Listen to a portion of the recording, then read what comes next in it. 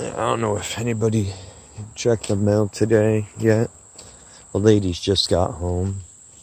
Finished that tear out in that entry of the old wing, the lost wing there. Did the concrete repair I had to do in the transition between the entryway and the living room. I figured I'd take this opportunity, give you guys a quick outdoor. Walk down and check the mail. We'll come back through that little area. You know, we're so blessed. We come from our eighth of an acre in the middle of Boise, Idaho. And we come to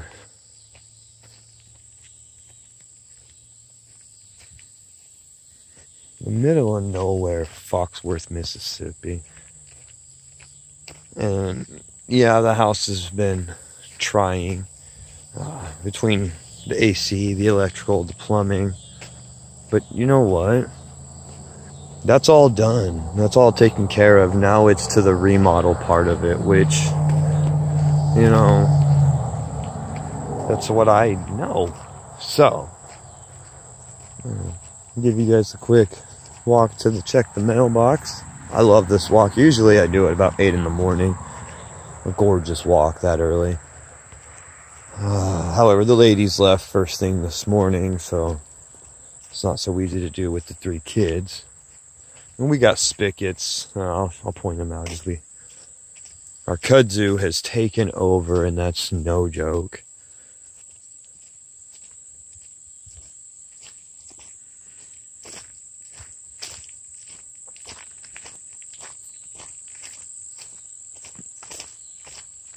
And I missed trash day this morning. I bring my trash down here every week.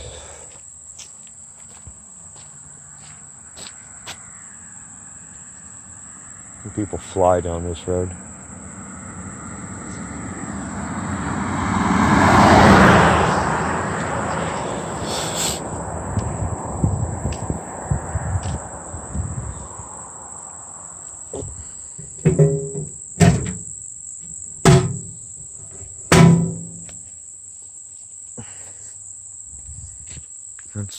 Side of. And then, see our nearest neighbors are down here. That's Mr. Dwayne and Miss Beth. They're very polite people, very kind hearted. Uh, very blessed to have them this early as our neighbor. But our property line goes down to where their clearing starts.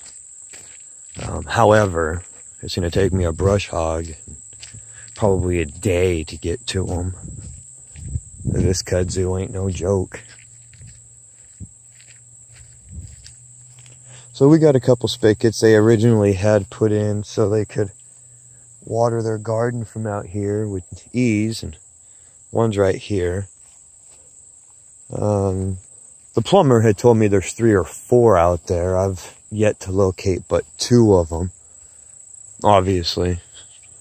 Um, I'm going to have my work cut out for me there.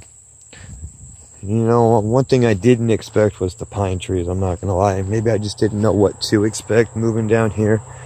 Here's another one. He's got capped off. So that means there's at least one more out there somewhere.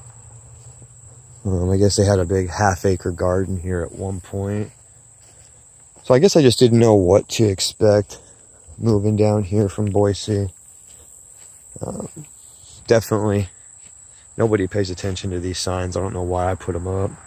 They just come right on down anyways.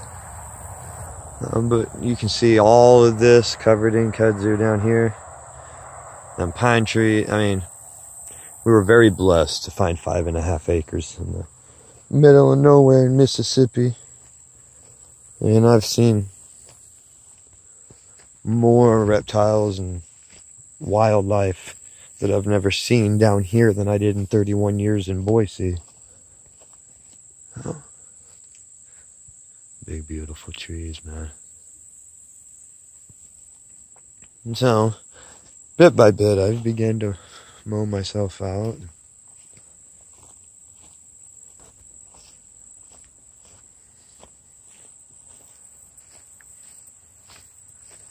Beautiful lady. Very blessed to have her as well. No.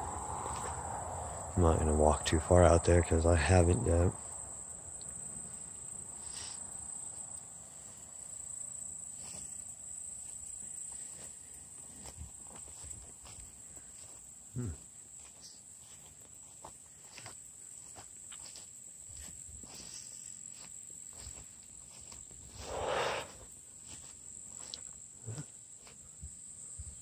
all of that.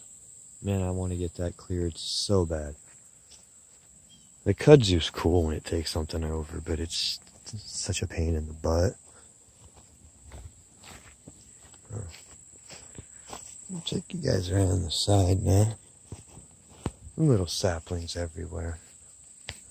Right there.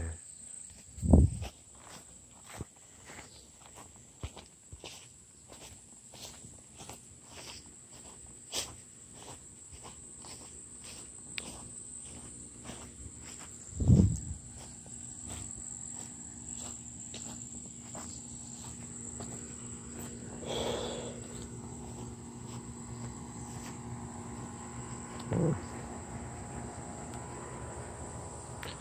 then our down here, just past this thicket of trees there, I believe to be our boundary. Just past that, down at what they call the branch. I'm not sure why. That's what they call it, but I'm not sure a lot down here just yet. Massive porch, that's why I need some attention out here too, but that's probably last on my list, honestly. This grass is all getting too damn thick to feel comfortable walking through it. Uh, right here, from this clearing around to here, just through there's the fence way. Uh, I believe the original pictures I saw. Hey, look, look everybody. There's Snowball. Hey, Snowball. The original photos had a pin here, but right here is the pool that I'm hopeful is at least in two pieces. Uh, who knows? Uh, then we go down beyond here to this, these pine trees here. Uh, and just beyond that's the creek, 10 Mile Creek. And we extend about 10 yards beyond that. Um, nowhere near down there yet either. Uh, here's the back end of it you know, like I said, we, we, we were blessed uh, to find this, to find the, the people we have found so far down here. I can't, I can't wait. I mean, it's overgrown like nobody's belief right now. Um, but I, I can't wait. And you can see pins down there. Uh, looks like one right about here, maybe. I don't know. I can't tell. Uh, somebody's pile of trash. I know. Hey, I've started one too. I just can't burn it, bury it. Can't bring myself to do it. And we go down through this thicket here, uh, probably 80 yards in front of me, and run this away back up to the road. Uh, again, it's overgrown, not prepared for snakes, so I'm really I'm not gonna go out there. Uh, that and I'm already hit the. Oh, here we got a skidder here. We were told at first that we had become the new owners of because they thought it was on property. So of course, being honest Americans, we did the right thing we called the sheriffs, had the sheriff come out and uh, take a report, take the VIN numbers, take the serial numbers off of the entire machine, anything they could find, uh, so they could try to find the owner to it. And about five days later, we had a man come up and let us know where the property boundary was, that it's not on ours as far as he has come to believe. So we're going to have a survey and we'll see exactly where our line is. Again, I missed trash day today. So. There you go. There you have it. There's yeah, just down here beyond this big tree here in front of us, there's that thicket of brush behind it. That's the property boundary that away. Um, the gentleman who owned the other 5.2 acres on the other side of that uh, was originally part of this property. He passed, and now his sister owns it. I'd like to find out what it would take to maybe reacquire that, because I'd like to have this property. Anyways, thank you guys for taking the time to watch a 10 and a half minute video. Um, look forward to posting more for you. God bless.